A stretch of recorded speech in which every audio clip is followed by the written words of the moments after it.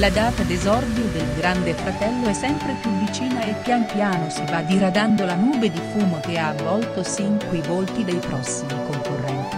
In queste settimane si sono rincorsi tanti nomi e con l'avvicinarsi della prima puntata arrivano le prime ufficialità. Secondo quanto riportato da sito del Messaggero, infatti, almeno per quattro di questi ci sarebbe quasi la sicurezza della partecipazione al reality di Canale 5. Come accaduto anche lo scorso anno la versione tradizionale ONI, sarà condotta da Barbara D'Urso. In realtà i nomi riguardano personaggi non propriamente nuovi al mondo della televisione.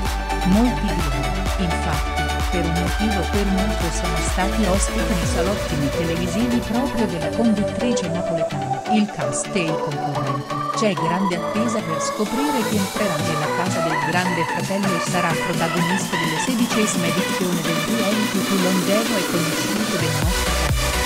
Da tempo circolano diversi nomi e con l'avvicinarsi della data d'esordio prendono sempre più corpo alcune candidature. È ormai data quasi per certa la presenza di Ivana Palma, la sorella del grande calciatore del Verona A dare ancora maggiore credito alla notizia anche un articolo del settimanale Oggi che dava praticamente per certa la sua presenza nella casa più spiata d'Italia. Spesso la bella argentina è ospite di Barbara D'Urso per parlare e raccontare il rapporto con la sua famiglia e il fratello. Ormai da anni la bella Ivana non ha più rapporti con il calciatore e tanto meno con i nipoti. La colpa, a detta di Ivana, sarebbe di Wanda Nara che avrebbe isolato il marito dall'intera famiglia.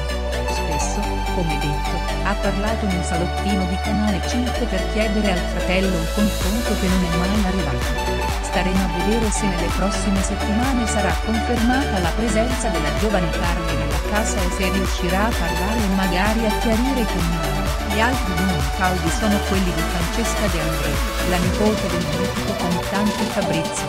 Francesca ha avuto una lunga relazione con Daniele Interrampo ed è stata spesso ospite dei programmi della conduttrice napoletana. Molto quotata anche la possibile partecipazione di Alberico Lodi il farmacista conosciuto per le sue diete miracolose. Anche lui è spesso ospite di Barbara D'Urso per parlare dei suoi pazienti e, comprensibilmente, è sempre al centro di accesissime polemiche, secondo quanto riportato dal sito di Davide Manzo. Infine, la quarta concorrente che potrebbe entrare nella casa del grande fratello potrebbe essere Farina, la mamma di Giulia Salani. Staremo a vedere se nelle prossime settimane arriveranno conferme per quanto